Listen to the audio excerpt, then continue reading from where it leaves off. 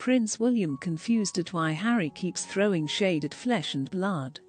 Prince William can't comprehend how his brother keeps publicly attacking the royal family, a royal source has claimed. The rift between the brothers, which once seemed to be on the mend, following the death of their grandfather Prince Philip last month, only seems to have grown again in light of the barrage of truth bombs shared in Harry's latest venture. The Duke of Sussex once again sent shockwaves through the royal family when sharing a series of comments on the Apple TV Plus docuseries. The Me You Can't See, which explores a variety of issues surrounding mental health.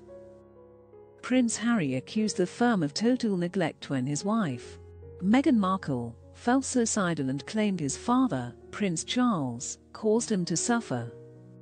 A royal source told Us Weekly William feels that Harry should discuss his issues privately and can't comprehend why he continues to shade his own flesh and blood on TV.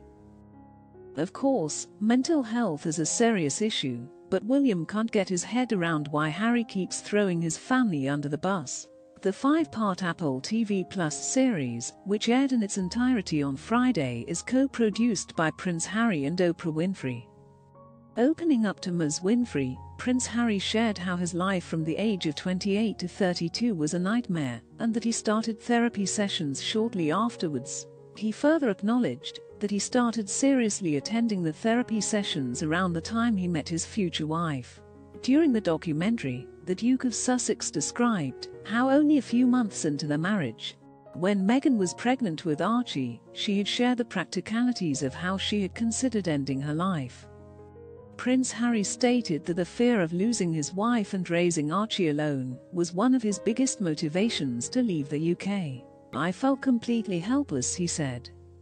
I thought my family would help, but every single ask, request, warning, whatever it is, just got met with total silence or total neglect.